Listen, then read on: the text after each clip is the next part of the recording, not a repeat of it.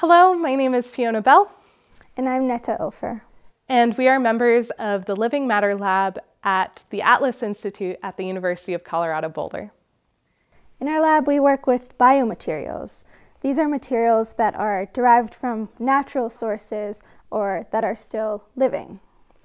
So, one of the biomaterials that we develop is called Alganyl, which is an algae based bioplastic that we use to create a bunch of different interactions for the HCI community. We embed it with UV sensing pigments. We embed it with temperature sensing pigments.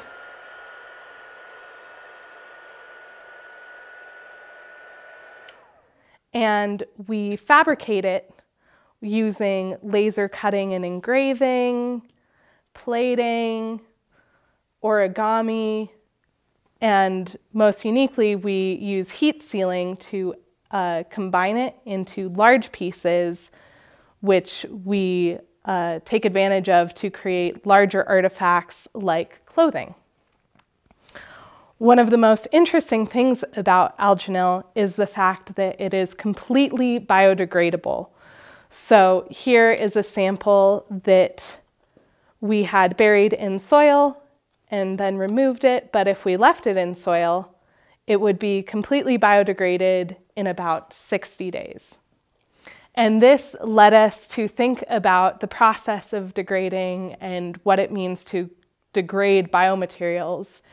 And we use that as motivation to create ReClaym, which is a biodegradable clay made from our composted food waste.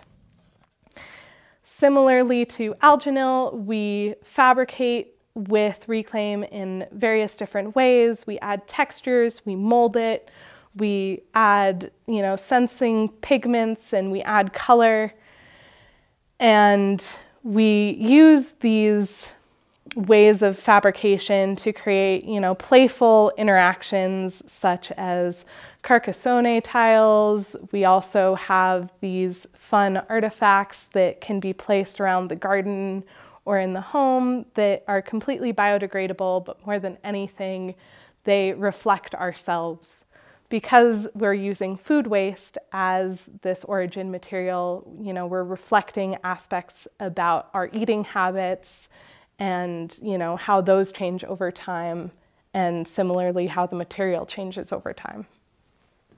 So these are both non-living materials that we developed in our lab, but we also work with living materials. For example, kombucha SCOBY, which actually stands for symbiotic culture of bacteria and yeast.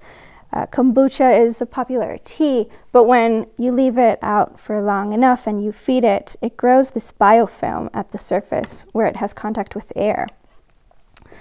And it has this, when it's living, it has this fleshy material quality. But when it's left out to dry, it becomes this paper or even leather-like material, depending on how thick the original SCOBY was. I think what's interesting about this material is that we form a relationship with it. We feed it every week, and it's kind of needy in that way. We check on it to see if it needs more nutrients. We check if it needs more heat to grow the layer that we want it to grow. And there's this back and forth motion between us, the designers, and the living organism. Another living organism that we work with is spirulina green algae. Spirulina is very nutrient dense, so you're probably familiar with it as a uh, health supplement that you see in grocery stores. It comes as a powder, but we use it in its living state to create these um, living drawings.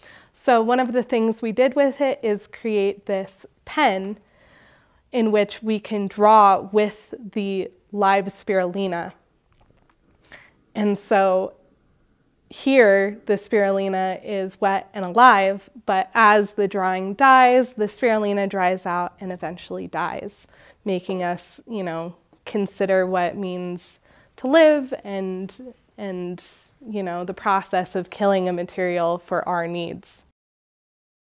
So a big part of our work with biomaterials is thinking about the materials we work with and our actual design process.